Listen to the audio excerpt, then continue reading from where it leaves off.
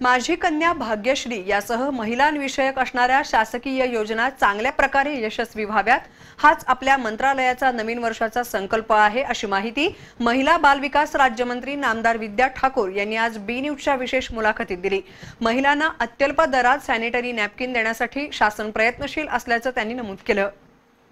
महिला आणि बालविकास राज्यमंत्री विद्या ठाकूर या गेल्याच आठवड्यात कोल्हापूर जिल्हा दौऱ्यावर येणार होत्या. मात्र तीन जानेवारी रोजी भीमा कोरेगाव दंगलीचे पडसाद कोल्हापुरात उमटल्यामुळे त्यांनी दौरा रद्द केला होता.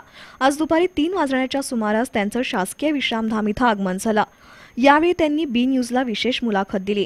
नवीन वर्ष नुकतंच सुरू झालंय. राज्य शासनाच्या माझी कन्या भाग्यश्रीसह महिलांविषयक असणाऱ्या कल्याणकारी योजना यशस्वी व्हाव्यात, हाच आपल्या मंत्रालयाचा नवीन वर्षाचा संकल्प आहे, अशी माहिती त्यांनी मुलाखतीत नए साल की अभी शुरुआत हुई है.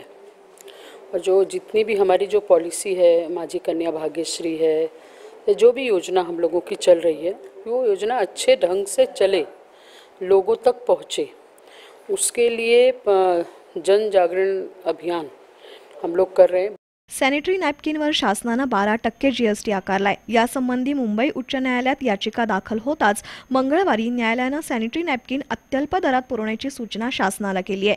याकडे नामदार विद्या ठाकूर यांचं लक्ष वेधता त्यांनी न्यायालयाच्या सूचनेचं तंतोतंत पालन करण्यात येईल तसंच स्वयंसेवी संस्थांमार्फत महिलांना मोफत सॅनिटरी नॅपकिन पुरवण्यात येतील असं स्पष्ट केलं.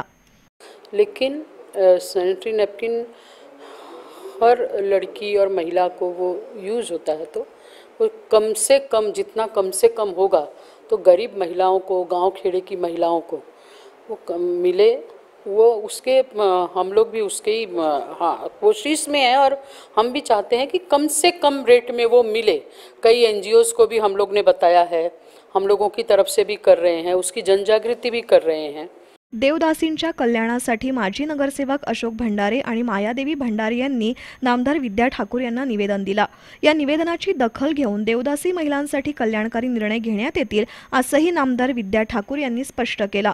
दरम्यान गोकुळचे संचालक बाबा देसाई यांची महिला आर्थिक विकास कल्याण मंडळाच्या अध्यक्षपदी निवड झाली आहे.